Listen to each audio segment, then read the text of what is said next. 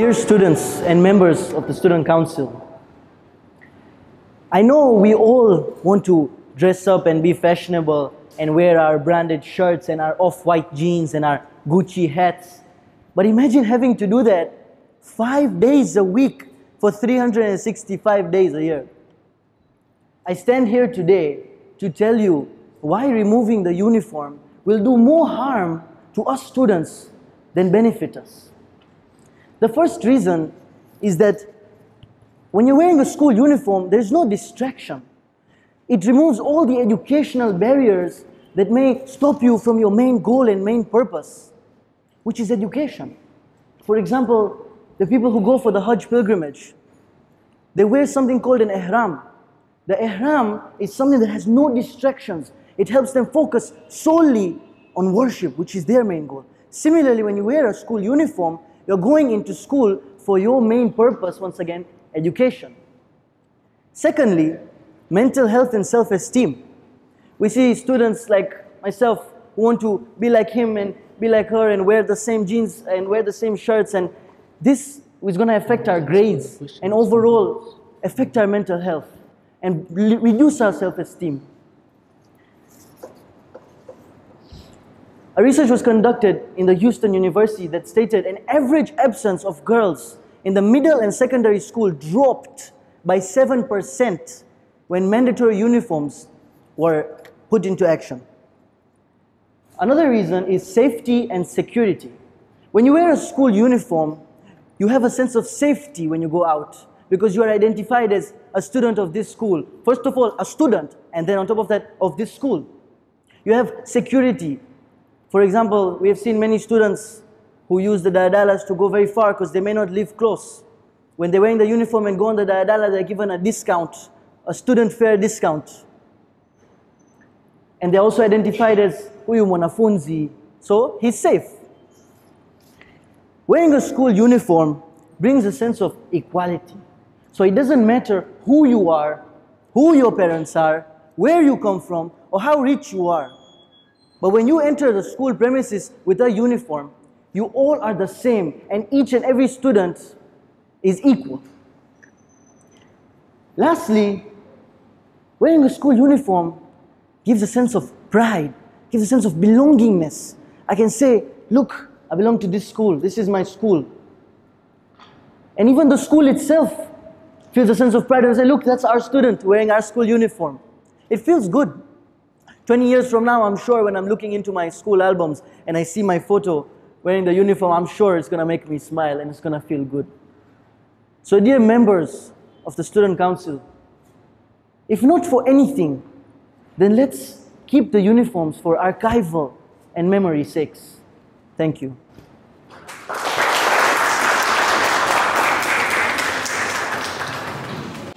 Thank you so much, Siraaj. Judges, anyone with a question? Of, I, I was going to say as well that, but even if you don't have a question, I'm going to come to you with a mic. This is your zone. Siraaj, well spoken. Um, I have a question, however, for you. When you say that um, students don't wear uniforms, their grades get affected. Can you justify that? Because I know of certain schools in Dar es Salaam where the high school students don't wear uniforms and they have flourished with excellent results, getting admissions into the best universities globally. So how would you justify this point of yours? So personally, I believe that when you don't have a school uniform, and as I said, it's, it affects the mental health of students who fall prey to peer pressure.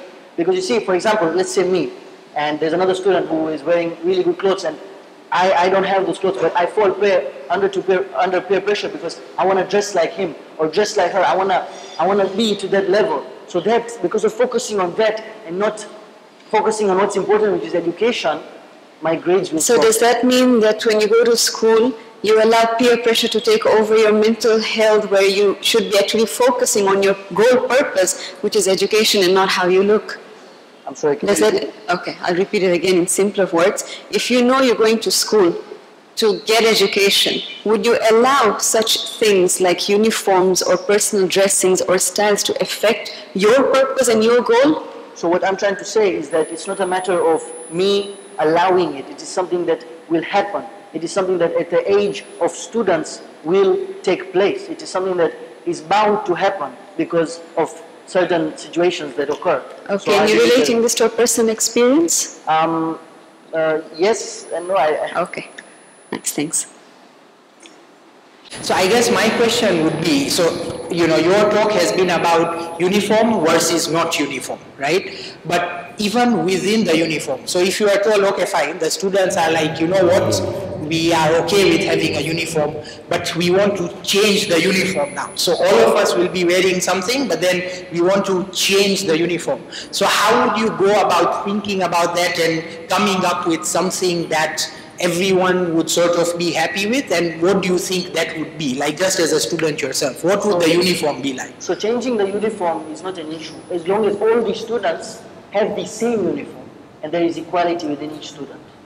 But do you have any ideas about what so for you as a student what would the ideal uniform be like Again, I, I have never really designed a uniform, but uh, I assume something appropriate for school, like like a, like a shirt, a t-shirt, and Uh-huh. maybe some trousers. And any color preferences I, I And don't- why?